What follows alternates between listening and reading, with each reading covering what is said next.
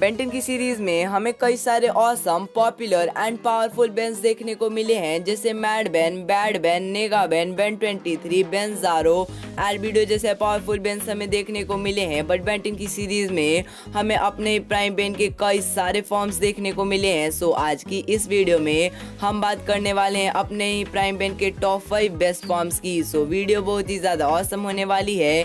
Video को and तक ज़रूर देखेगा तो चलेगा इस अब बिना किसी और टाइम वेस्ट किए, इस औसम सी वीडियो को स्टार्ट कर लेते हैं। सो अब में नंबर फिफ्थ पर आता है प्लांट बेन अब मैं ये बिल्कुल भी नहीं कह सकता कि प्लांट बेन बहुत ही ज़्यादा पावरफुल है या फिर प्लांट बेन काफ़ी ज़्यादा पॉपुलर है बट हाँ प्लांट बेन के पास एक अल्टीमेट ट्रिक्स थी, जो कि हमारे बेन की अल्टीमेट ट्रिक्स थी। अब प्लांट बेन ने बेन की अल्टीमेट ट्रिक्स को चुरा कर अपने हाथों में पहन लिया था और उस अल्टीमेट ट्रिक्स की हेल्प से प्लांट बेन भी किसी भी एलियन में ट्रांसफॉर्म हो सकता था, जो कि प्लांट बेन को थोड़ा ज़्यादा पावरफुल बना रही थी अपने नॉर्मल फॉर्म से। सो अब प्लांट बेन की जो सबसे बड़ी वीकनेस थी, वो थी पीनट्स अब अगर प्लांट बेन पे पीनट्स डाले जाते थे तो प्लांट बेन एक टाइप से जल जाता था और यही प्लांट बेन की सबसे बड़ी वीकनेस थी। सो अब अगर हम बात करें प्लांट बेन के अपीरेंस की तो प्लांट बेन का अपीरेंस बेंटन की सीरीज़ में सिर्फ़ एक ही बार हुआ है और वो भी Ben Ten Ultimate Alien series के द बिग स्टोरी एपिसोड में प्लांट बेन का फ़र्स्ट अपीरेंस हुआ था एंड यही अपीरेंस प्लांट बेन का फ़र्स्ट एंड लास्ट अपीरेंस बन गया, क्योंकि इस एपिसोड के बाद प्लांट बेन हमें बेंटन की सीरीज़ में कभी भी देखने को नहीं मिला।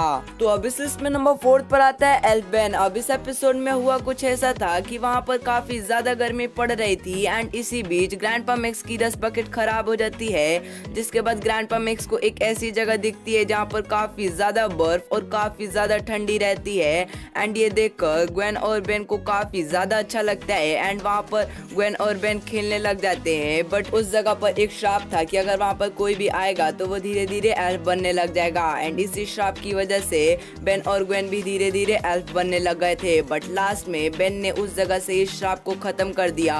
और बेन और ग्वेन वापस से नॉर्मल हो गए। सो एल्फ बेन का अपीरियंस हमें बेंटन की सीरीज़ में सिर्फ़ एक ही बार हुआ और वो भी बेंटन क्लासिक के मैरी क्रिसमस एपिसोड में एल्फ बेन का फ़र्स्ट एंड लास्ट अपीरियंस हुआ क्योंकि इस एपिसोड के बाद एल्फ बेन हमें बेंटन की सीरीज़ में कभी भी देखने को नहीं मिला। सो अब इस में नंबर थर्ड पर आता है मिरर बेन अब मिरर बेन भी बहुत ही ज़्यादा पावरफुल या फिर बहुत ही ज़्यादा पॉपुलर बेन नहीं है बट हाँ मिरर बेन के पास उसकी खुद की एक ओमने ट्रिक्स है, जिससे मिरर बेन किसी भी एलियन में ट्रांसफॉर्म हो सकता है। अब इस एपिसोड में हुआ कुछ ऐसा था कि बेन रोक चाम कास्टर और हॉबर्ड एक ऐसे मिरर के सामने आ जाते हैं, जिनसे जो उनकी मिरर में शेडो होती है, यानी कि मिरर में जो उनकी रिफ्लेक्शन होती है, उसमें खुद की एक लाइफ आ जाती है। एंड फिर वो बेन रोक चाम कास्टर और हॉबर्ड से फाइट करने लग जाते हैं बट जो उनकी रिफ्लेक्शन होती है, वो कांच की तरह ही वीक होती है, जिससे बेन रोक चाम कास्टर और हॉबर्ड अपनी अपनी रिफ्लेक्शन को डिफीट कर पाते हैं। सो अब अगर हम बात करें मिरर बैंड के अपीरियंस की तो मिरर बैंड का अपीरियंस बैंटन की सीरीज़ में सिर्फ़ एक ही बार हुआ है। वो भी बैंटन ऑमनीवर्स सीरीज़ के। I am sure charmed episode में मिरर बैंड का फ़र्स्ट एंड लास्ट अपीरियंस हुआ था, क्योंकि I am sure charmed episode के बाद मिरर बैन हमें बैंटन की सीरीज़ में कभी भी देखने को नहीं मिला।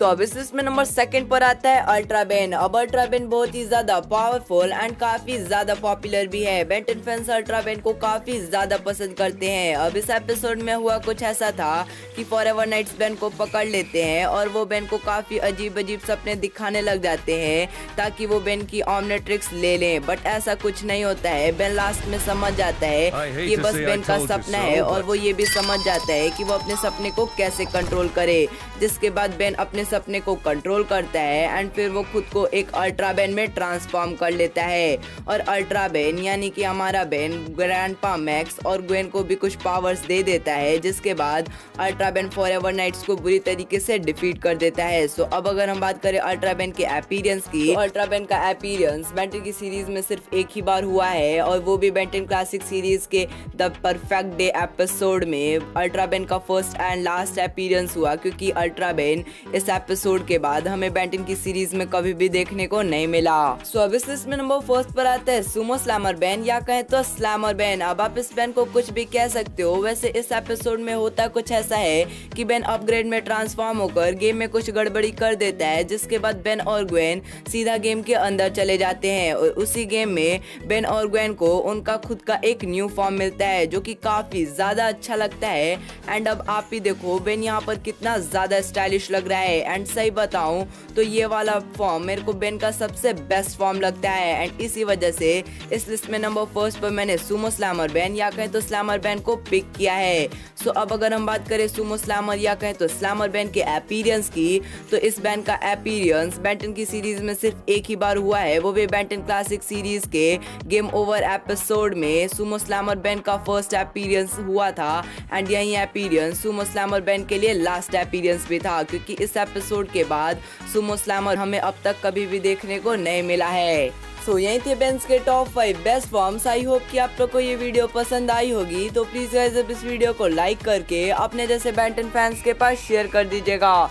तो मिलते हैं फिर किसी न्यू और इंटरेस्टिंग वीडियो में। तब तक के लिए good bye and take care